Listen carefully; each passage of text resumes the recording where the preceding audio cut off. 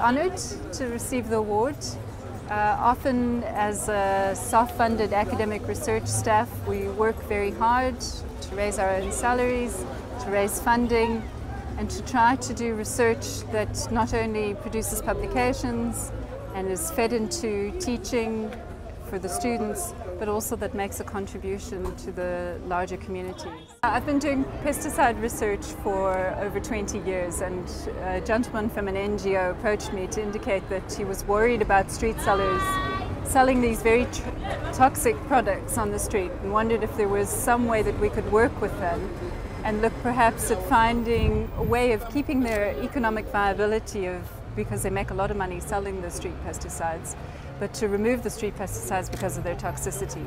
So the research project started out looking at street sellers and their occupational exposures. We then tried to make a link to see whether children were actually being exposed to street pesticides and whether there were poisoning cases coming in. So we looked at Children's Red Cross Hospital, which is a referral hospital, and tried to look at the records because what's happening is the products uh, are unlabeled. Uh, so the person treating, the clinician treating the child would think it was a commercially bought. So we tried to make the link by going through the case reviews and then producing this point chart. So the idea was that when the child came in, they would then point at the chart or the caregiver would point to the chart so that we could link the product that was on the street. Then we conducted then a household survey within uh, and Philippi. We interviewed 200 households to see whether people were actually using the products extensively and we found very high use of uh, the street pesticides, both the liquids and the aldicarb. We then handed out 400 rat traps to see whether it would work as an alternative. The idea is to try to see if we can give street sellers an alternative to these products but still make a living off them.